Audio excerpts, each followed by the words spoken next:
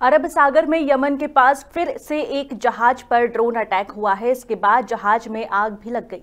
इस पर सवार 23 में से 22 क्रू मेंबर भारतीय हैं। एक बांग्लादेशी नागरिक है। वहीं भारतीय नौसेना ने मदद के लिए युद्धपोत भेजा है।